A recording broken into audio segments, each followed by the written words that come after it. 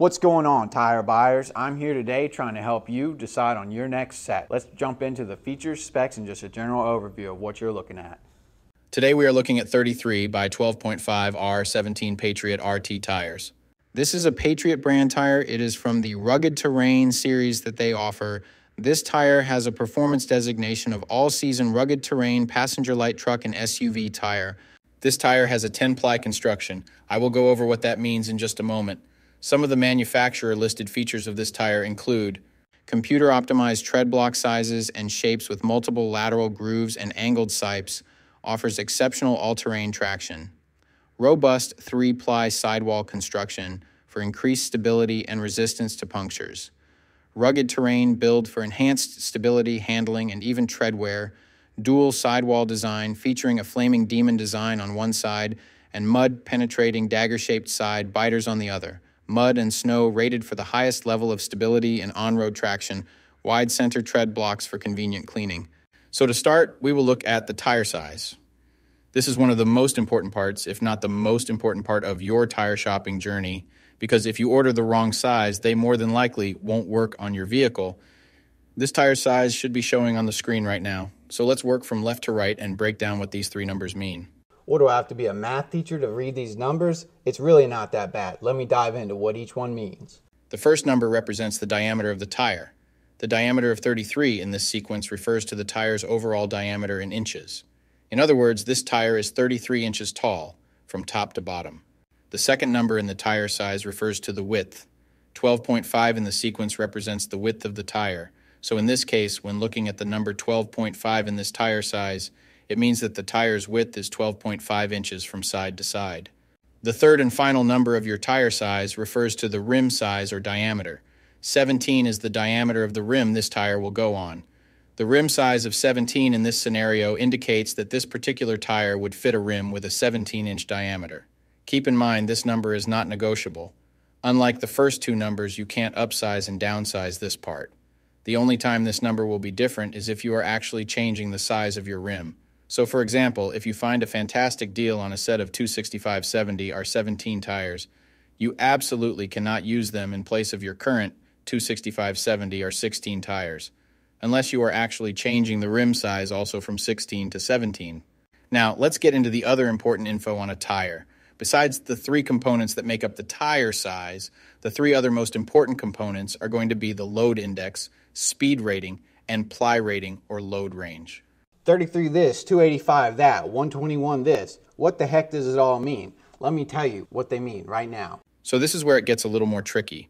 These three components will sometimes require some additional research to know what your vehicle needs. So, let's start with the ply rating slash load range. These tires have a 10 ply construction. Each designation represents a different term when looking at a tire. This can directly affect things like max tire pressure and also plays a part in the next two numbers we are going to talk about.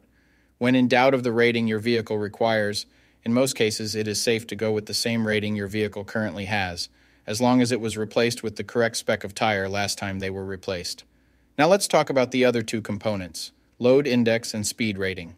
Next to your tire size, you will see a number and letter combination like 120Q.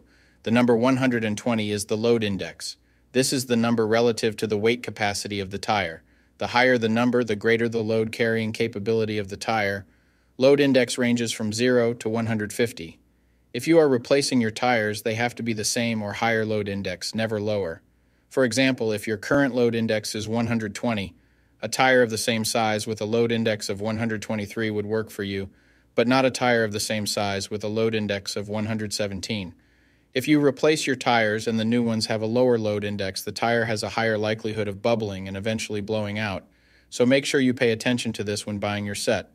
So for the tire we are looking at today, the load index of 120 represents a weight capacity of 3,086 pounds. For my metric system using Friends, that would be a capacity of 1,400 kilograms.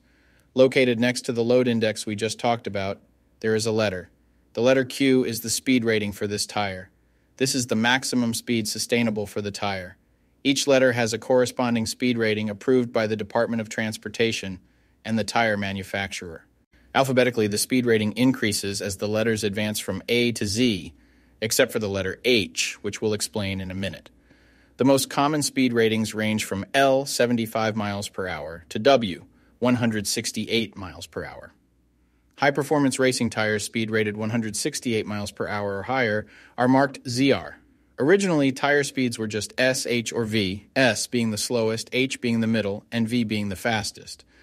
Over the years, as tire speeds have evolved, for whatever reason, H has always remained the same 130 miles per hour. When Z speed rated tires were first introduced, they were thought to reflect the highest tire speed rating that would ever be required in excess of 240 kilometers per hour or 149 miles per hour. While Z Speed rated tires are capable of speeds in excess of 149 miles per hour, how far above 149 miles per hour was not identified. That ultimately caused the automotive industry to add W and Y speed ratings to identify the tires that meet the needs of vehicles that have extremely high top speed capabilities. So, the speed rating of Q in the case of this tire means that this tire is rated for speeds of 99 miles per hour or 160 kilometers per hour.